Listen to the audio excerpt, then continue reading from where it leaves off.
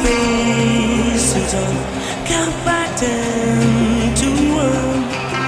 The gravitation pull gets stronger. My skin it burns away. My brains are on a place. The weakest feeling here is bliss.